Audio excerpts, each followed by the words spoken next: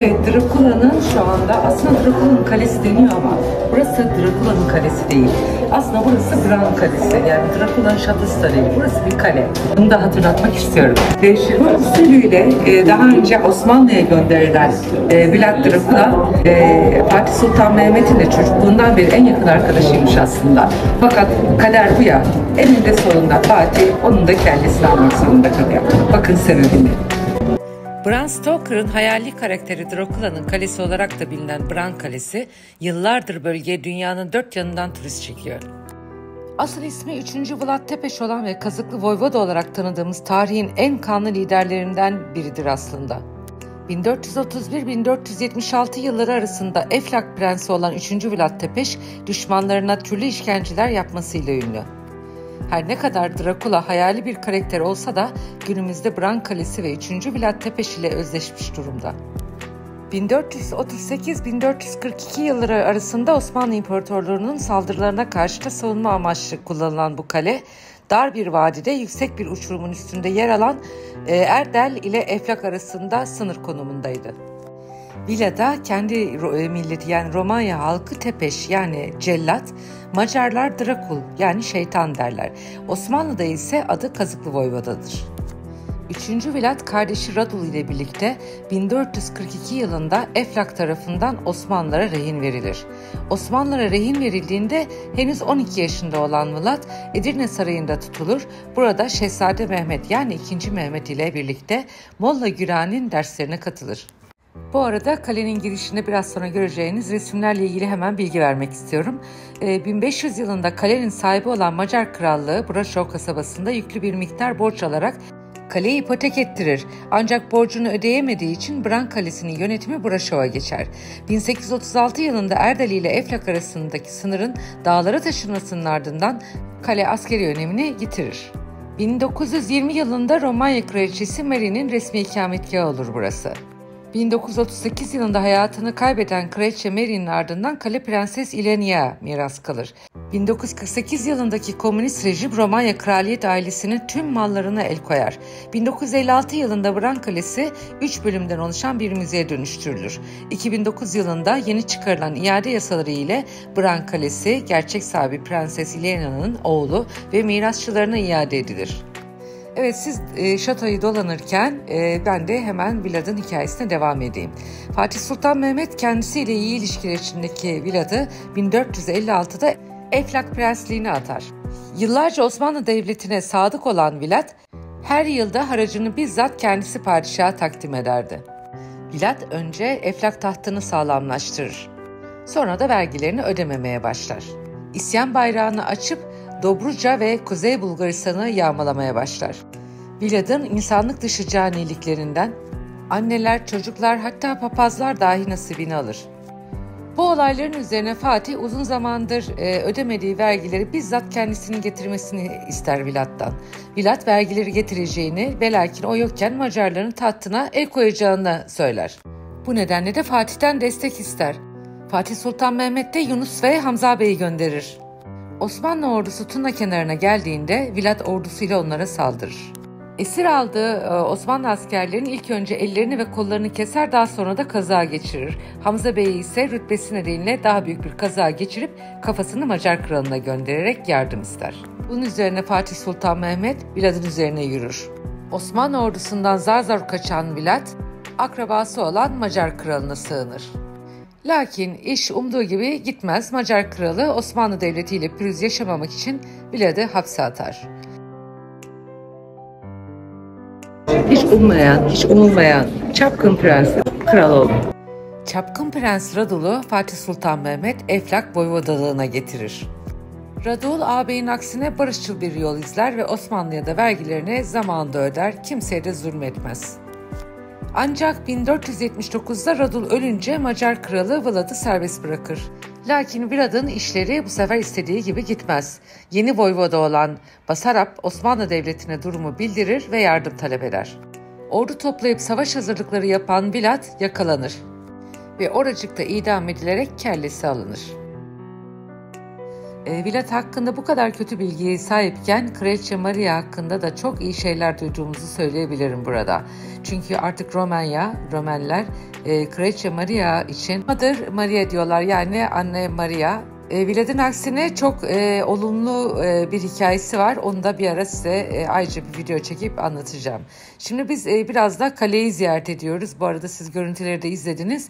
Peki bu kalede ne var? Bu kalenin özellikleri neler? Gitmeye gerek var mı? Şimdi az sonra sizlerle. Bu kale küçük odalardan ve dar koridorlardan oluşmakta.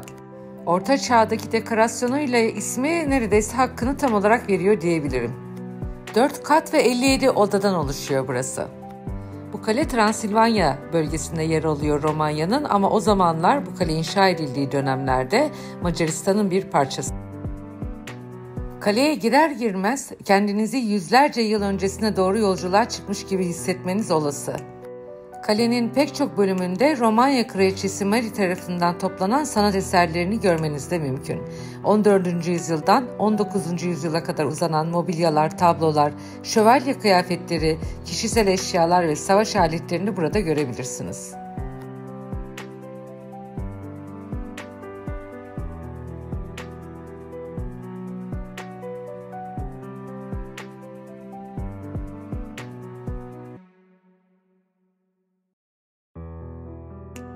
Bran Kalesi'nde en fazla ilgi uyandıran yerlerden biri de Secret Tunnel yani gizli tünel. 1920'li yıllarda Kraliçe Maria'nın emriyle kalede tadilat yapıldığı sırada işçiler birinci ve üçüncü katları birbirine bağlayan gizli bir tünel keşfetmiş. Şöminenin arkasına gizlenen kaçış tünelinden binlerce yıl kimsenin haberi olmamış. Kaleyi ziyaret ettiğinizde gizli tüneli mutlaka bir geçin. Gerçekten muhteşem bir e, havası var.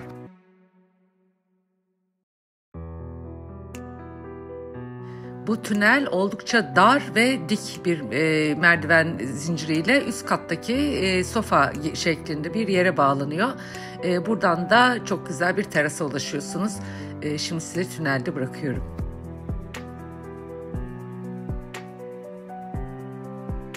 E, bu gizli tünelin tam olarak çıkış yeri burası üst kattan. E, çıktıktan sonra e, arkanızı döndüğünüzde nereden çıktığınızı bile tam olarak anlayamıyorsunuz. İşte bu kadar gizli bir tünel. E, burası teras bölümüne açılan e, bir geniş bir oda var burada.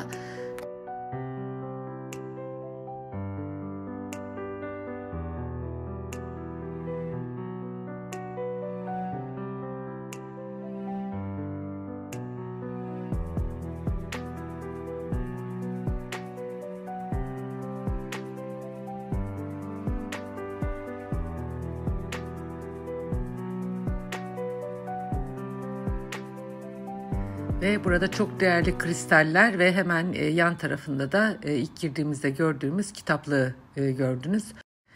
Buradaki terasın manzarası bu kalenin gerçekten muhteşem bir mimarisi olduğunu gösteriyor.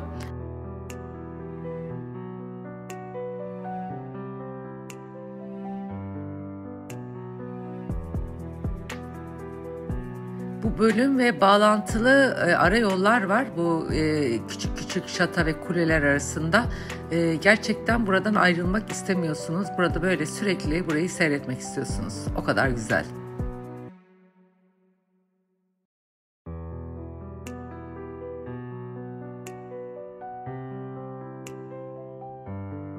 Terastan hemen yukarıya doğru bir dik bir merdiven sistemi daha var. Oradan da başka bir yüksek bir terasa varıyorsunuz.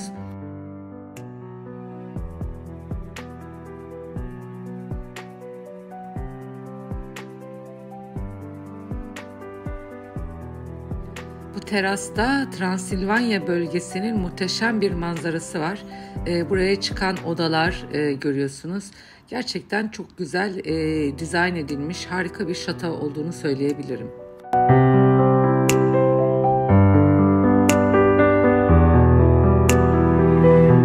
Ve işte bu terastan Bran e, komple ayaklarınızın altında.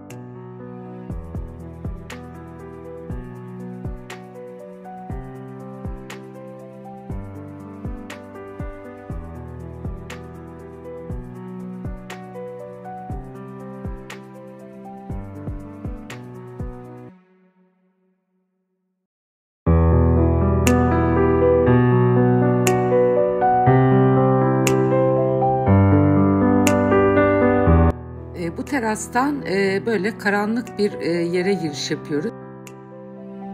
E, içeride bir animasyonla odalar var. E, hangi akla hizmetle yaptılarsa bence hiç gerek yokmuş. Gerçekten rezalet olmuş. E, bakın burada işte böyle hayaletler mayaletler şeklinde animasyon yapmışlar. E, hiç gereği yokmuş ama işte e, mahvetmişler yani bütün e, büyüsü işte tam olarak burada e, bozuldu benim için açıkçası.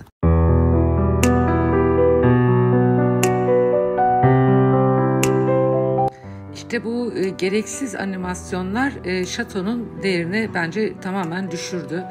E, keşke yapmasalarmış. E, keşke burasını böyle karanlık odalar olarak bıraksalarmış. Çok daha iyiymiş.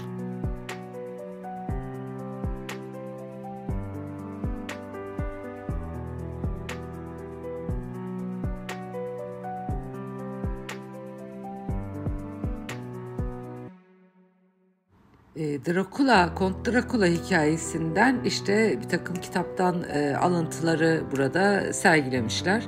E, bence dediğim gibi çok gereksiz olmuş. İşte Kont Dracula kitabını okuyan varsa işte orada büyücülükle vesaireyle ilgili e, olayları buraya e, sonradan e, koyarak e, bir takım da görseller ekleyerek işte korku tüneli gibi bir şey yapmaya çalışmışlar. E, kötü olmuş. Beğenmedim. Onu kesinlikle söyleyeyim. Ama şato gerçekten e, görülmeye değer bir e, yer. Onu söyleyebilirim.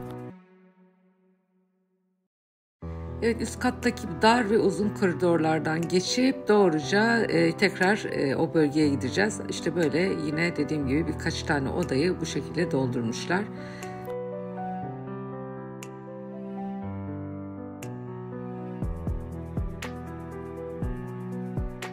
İşte son bu karanlık odayı da gördükten sonra aşağı doğru e, iniyoruz.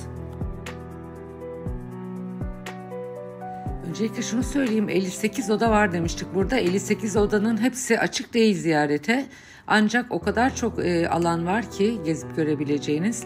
E, aşağı yukarı ortaçağ her odada zaten mevcut.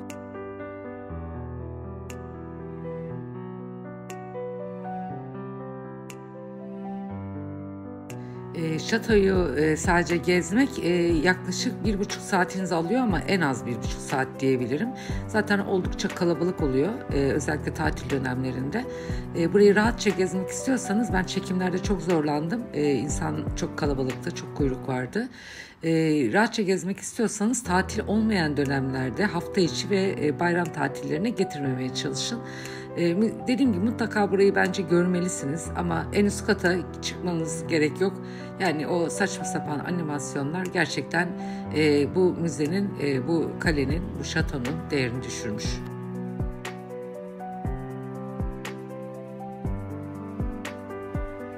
Evet, buradan da Ferdinand'ın e, odasını da ziyaret ediyoruz. E, Kral Taci ile birlikte e, odasında sergileniyor. Yatağı, işte ısıtma sistemi, çiniden oluşmuş çok güzel bir ısıtma sistemi var. E, buradan da e, odadan çıkıp başka bir alana giriyoruz.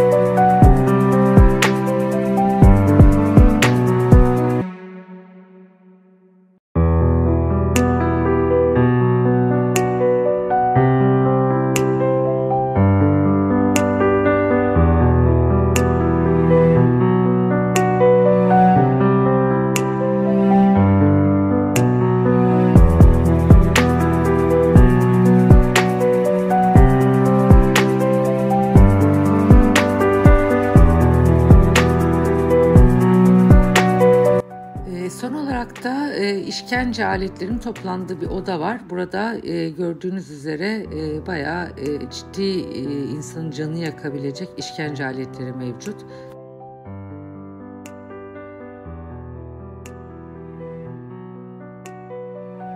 İşte dediğim gibi kapalı bölümlerden bir tanesi bu. Buraya giriş yasak, giremiyorsunuz. Ee, diğer şatonun diğer bölümlerine geçen odalar ve kapıların yer aldığı alan. Ayrıca bu odada da Kraliçe Mary'nin ne kadar iyi bir insan olduğu, ne kadar iyilikler yaptığı ile ilgili bir görsel sunuyorlar.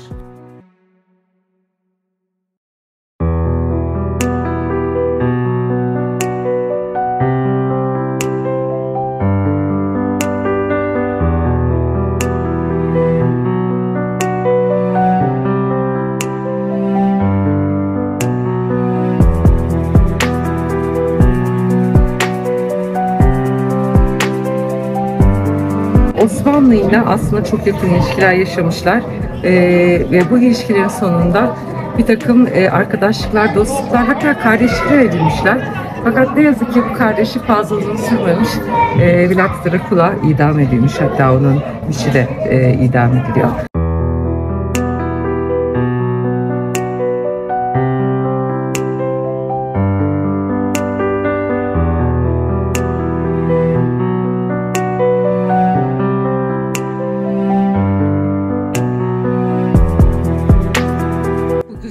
Meydandan sizi çıkış bölümüne doğru bir e, okla gösterdikleri bir yöne yönlendiğinizde hediyelik eşya alabileceğiniz bir alana geliyorsunuz.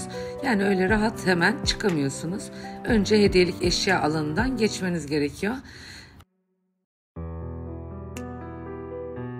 Evet döne döne böyle bir 2-3 kat aşağı iniyorsunuz. Ondan sonra da çıkışa doğru e, yol alıyorsunuz.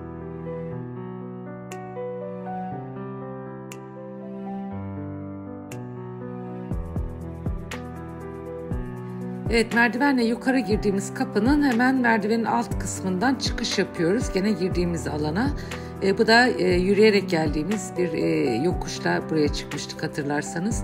E, buraya kadar beğendiğinizi ümit ediyorum e, videolarımı e, ve lütfen rica ediyorum beğeni ve yorumlarınızı eksik etmeyin. E, tekrar görüşmek üzere.